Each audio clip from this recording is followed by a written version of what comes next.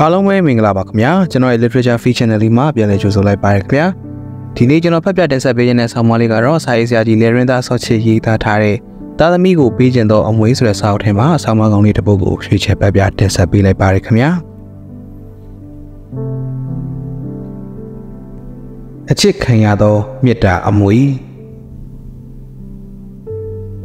ကလေးတယောက်သည်အချစ်ခံရသောမေတ္တာအမွေရစေတင်သည် မိဘသည်သားသမီးကိုချစ်ခင်မြတ်တာအမွေများများပေးနိုင်လေကောင်းလေဖြစ်ပါသည်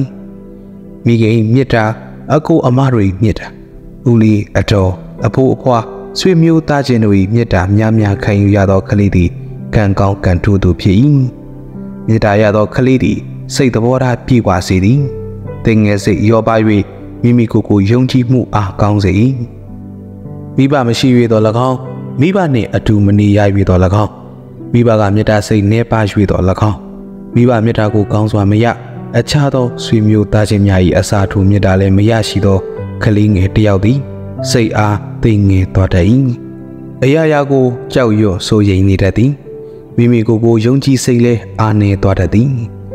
ထိုကလေးများသည်အတနာစရာကောင်းသူများဖြစ်၏ထိုကလေးမျိုးသည်သိငယ်အားငယ်ရာမှနှုံနှင့်ညံဖြင်တော်တတ်သည်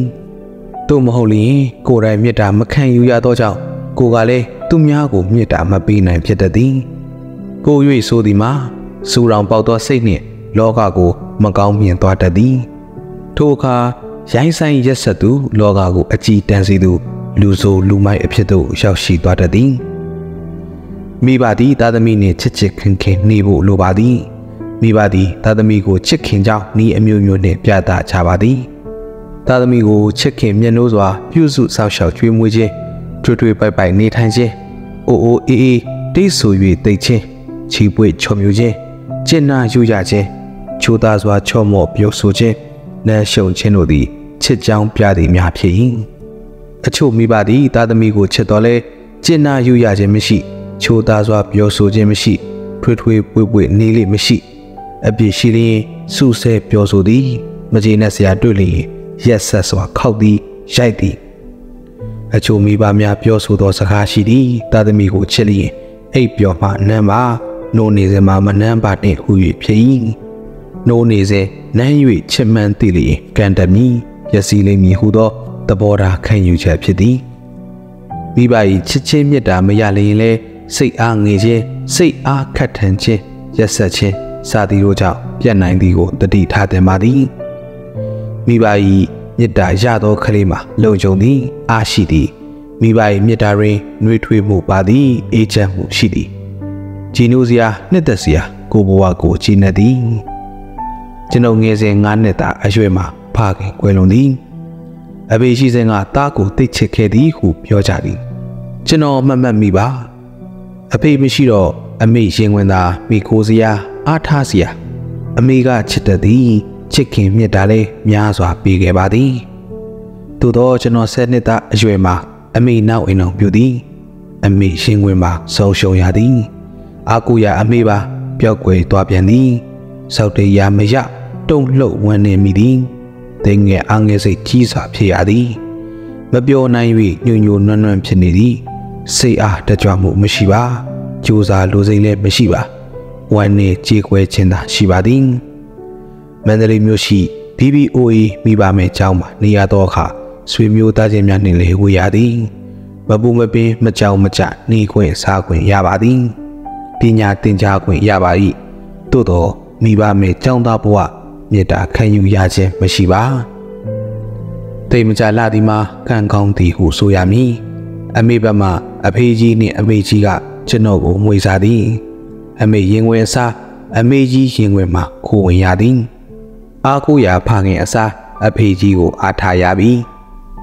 အဖေကြီးနှင့်အမေကြီးကသားနှင့်ချစ်ခင်သည်ယူရသည်ကျင့်နာသည်နှွဲခွင့်ဆိုခွင့်ရသည်တီခန့်စိတ်နှင့်ခွင့်လွတ်ပြီးအပြစ်ကိုဆုံးပါသည် အကောင်ကိုညွန်ပြသည်ဆောင်းရသည်ညအိယာဝင်လျင်အညာဆောင်းကအလွန်ချိန်အမေကြီးကနေခင်းမှာနေလန့်ပြီးအပူနှွေမပြတ်အောင်ခောက်ထားသောခြီချမ်းဆောင်ကိုသူကိုယ်တိုင်ခြုံပေသည် နှွေးသွားသည် ကိုခန္ဓာလေးနှွေးသည်ရင်ထဲမှလည်းနှွေးသည် ကိုခန္ဓာနှွေးသည်မှာနေပူလှမ်းနာသောစောင်းကြောက်ရင်ထဲမှနှွေးသည်မှာအမေကြီးနှွေးထွေးသောမြတ်တာကြောင့်ကြပြလေးရလျင်ဆိုပြစရာအမေကြီးအဖေကြီးရှိသည်တချင်းကလေးရလျင်ဆိုပြရသည်စားရလျင်ရွှပြရသည်ပုံမြင်ကောင်းလေးကြားရလျင်ပြန်ပြောပြရသည်အဖေကြီးနှင့်အမေကြီးကနှစ်သက်စွာနှာထောင်သည်သဘောကျစွာချီးကျူးသည် သူတို့နှင့်ယင်းဤချစ်ခင်သူများအိမ်လာတိုင်းကျွန်တော်ရသောကြပြရွတ်အပြခိုင်းသည်ကျွန်တော်ရသောတခြင်းအဆူပြခိုင်းသည်ကျွန်တော်ကြားခဲ့သောပုံမြင်ပြန်ပြောခိုင်းသည်ထို့သောရွတ်ဆိုပြောကြားသူတို့မျက်နှာများကြည်လင်စွာပြုံးနေသည်ကျွန်တော်မျက်နှာလည်းဂုံယူစွာရွှင်လန်းနေခဲ့ပါလိမ့်မည်ကိုရသောကြပြလေးကိုရွတ်ဆိုပြခွင့်မရသောကလေးငယ်၏ဘဝဆိုပြစရာမိဘမရှိသောကလေးဘဝမှာ ကွက်လက်ကြီးစွာရှိနေပါလိမ့်မည်ကျွန်တော်ဒီငယ်စဉ်ကတည်းကမိဘနှင့်ဝေကြရတော့လဲအဖေကြီးနှင့်အမေကြီးထံမှမိဘမြတ်တာအစာရခဲ့သည်ကွက်လက်မရှိပြေဆုံးခဲ့သည်ကိုယ်တိုင်မိဘဖြစ်သောအခါကိုရခဲ့သည့်မြတ်တာအမွေသားသမီးကိုပေးရသည်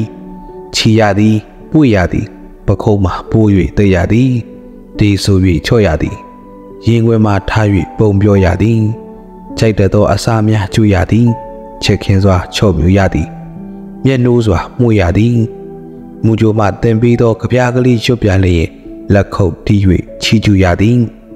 ပုံကလေးပြောတတ်လာလျင်ဝမ်းသာအာရနားထောင်ရသည်မူကြိုကြောင့်ကဝဲကိုအဖေရောအမေသွား၍အားပေးရသည်စင်ပေါ်မှဆင်လာသည်နှင့်သူကြိုက်သောမုတ်ကိုစုပေးရသည်ပွေကမွေးကချီကျူရသည်အိမ်ကိုဧည့်သည်လာတိုင်းကြပြဆိုခိုင်းပုံပြောခိုင်း ကပွဲမှာကာဒီကို ပြန်အကခိုင်းရသည်ခလီရောမိပါပါပျော်ရွှင်ကြည်ညိုရပါ၏ကလေးကိုချစ်၍ကလေးမပြတ်စီပါချစ်ကြောင်ပြ၍လဲကလေးမပြတ်စီပါ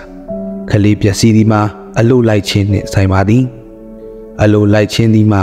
လိုက်တဲ့သောအလိုနှင့်မလိုက်တဲ့သောအလိုကူ၍ရှိပါသည်မလိုက်တဲ့သောအလိုများကိုလိုက်လုံးမှသာပျက်စီးပါသည်ချစ်ခင်သောမိဘ၏မေတ္တာနှင့်ရှင်ပြီး စုံမပြုပြင်ခြင်းသည်ကလေးလေးမကြီးအတွက်ပို၍ပင်ထိရောက်အောင်မြင်ပါသည်